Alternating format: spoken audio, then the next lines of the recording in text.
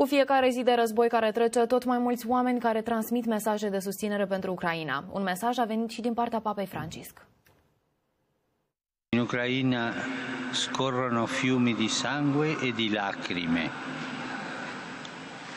Non si tratta solo di un'operazione militare, ma di guerra che semina morte, distruzione e miseria.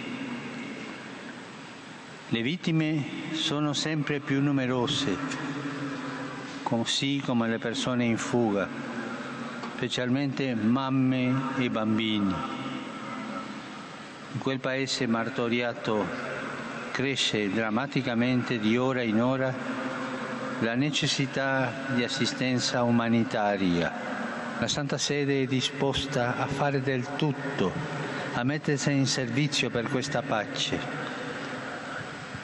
Questi giorni sono andati in Ucraina due cardinali per servire il popolo, per aiutare. Questa presenza dei due cardinali lì è la presenza non solo del Papa, ma di tutto il popolo cristiano che vuole avvicinarsi e dire la guerra è una pazzia, fermatevi per favore.